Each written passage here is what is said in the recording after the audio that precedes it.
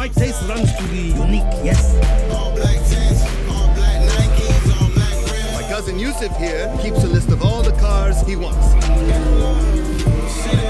Now it's my job to look into how we can get them. If something goes wrong, then always blame him.